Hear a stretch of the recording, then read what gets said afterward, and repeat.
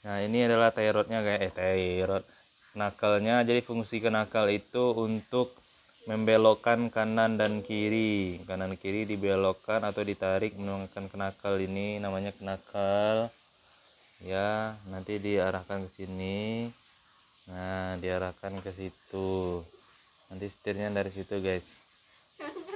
Nah, yang ini begini nah situ. Oke.